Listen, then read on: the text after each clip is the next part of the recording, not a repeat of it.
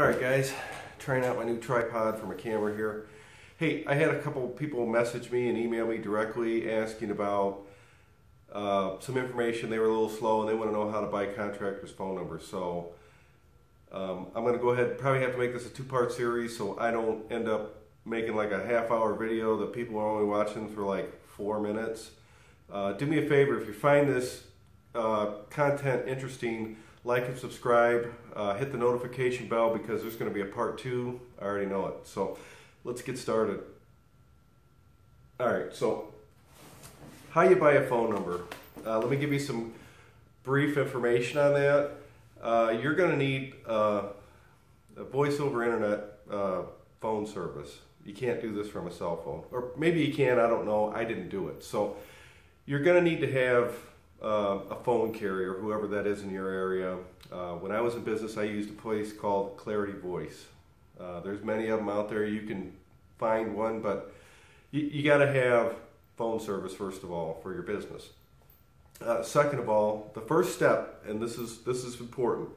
It really is this easy. So what I did, these are phone books. I'm saving them. I don't know, you know, if you're pretty smart, you can figure out why. Um, this is a um, 2017 phone book, two different, you know, people that publish those. I'm going to pick my cell phone up. I'm going to dial every heat and air contractor on a Saturday in the phone book, A to Z. And I'm only going to make a list of everyone that's disconnected. I'm going to write, okay, so and so heating, their phone number. I'm just going to keep going down the list. There's two things that are happening. One, you're making a list and you're finding out who your competitors are that are answering the phone. You're going to be surprised. There's going to be people that won't even answer the phone on a Saturday and Sunday. So if you're in business, it's a little bit slower, answer your phone on Saturday and Sunday and after hours. That's how you can win some customers. There's a little nugget. So let's make that list. Once you got that list, now you need to figure out, okay, which phone carrier owns these phone numbers. That's a little tricky. That's where you're going to rely on your phone service provider. And I had access to an account representative. I would email them that information, and they would respond back to me that CenturyLink owns this phone number. AT&T owns this phone number. Verizon owns this phone number. Whatever it is, it doesn't matter. So you might start out with a list of 15 and only come down with, uh, you can find information on five. This is an ongoing process. Write it down in your stenographer's notepad. We're going to use this over and over and over again. Every time it gets slow and everything's caught up and there's no work to do, we're going to revisit this. That's why we want to make notes. You can't do it in your head. So uh, another thing I'm going to recommend start with a phone book that's probably at least a year old. I don't know if you guys remember but we went through a recession. What do you think happened to all those contractors that were doing new construction back in 2006 to 10? Get you a phone book. I didn't have one. Who had one? You can always go to the library and get one, but here's another idea. I just posted on Facebook. Any of my friends have a old phone book that they wouldn't mind having uh, given to me. I got some like 2007 phone books. What did I do? Went to the heating and air uh, section, called them all. You're to find more in there. So now your list keeps getting bigger, bigger, bigger, bigger. Now we need to identify who owns those phone numbers. Once we know who owns those phone numbers, we've got some work to do. But how hard is it to sit there and pick up the phone and find a phone number that's disconnected. It's not hard, it just takes a little bit of work.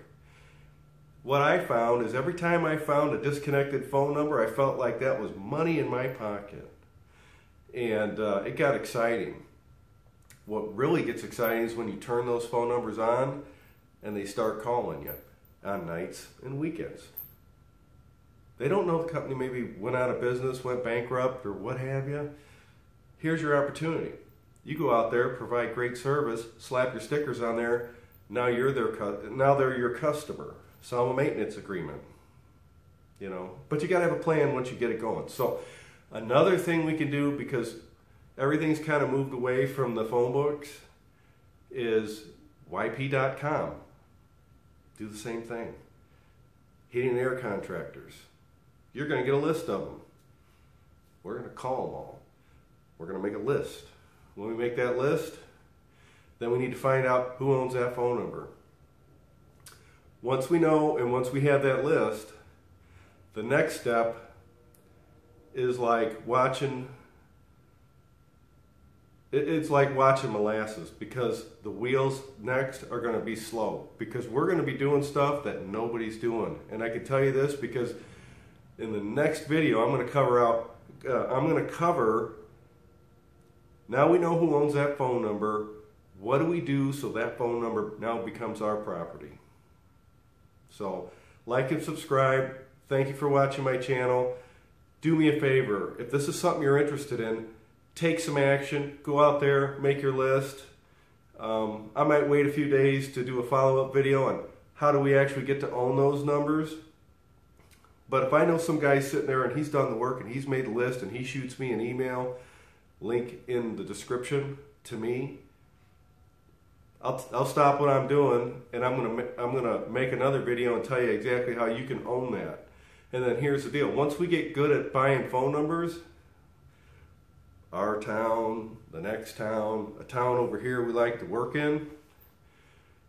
Once we've kind of filtered through every phone number we think we can find, which I did, no one did it in my neighborhoods, no one did it in the, in the areas I worked, it was like an untapped market.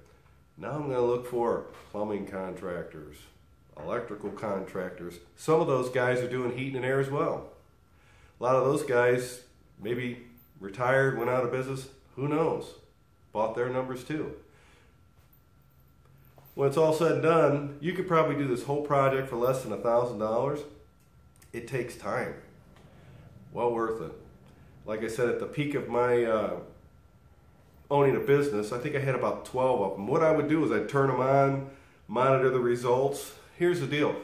Once you have that phone number and you have a, a phone service provider you can get a report. You can start to monitor how many calls you're getting off that phone number. Just like any other marketing you're doing, you want to put a tracking number on it. You're going to spend a dollar on a flyer, dollar on some direct mail, a dollar on your uh, website. You need to track that money. You want to see what leads are coming in and is what I'm spending profitable. That'll be another video. So. Once again, thanks again, guys. Uh, I'll make another follow-up video because there's just so much to cover on this topic.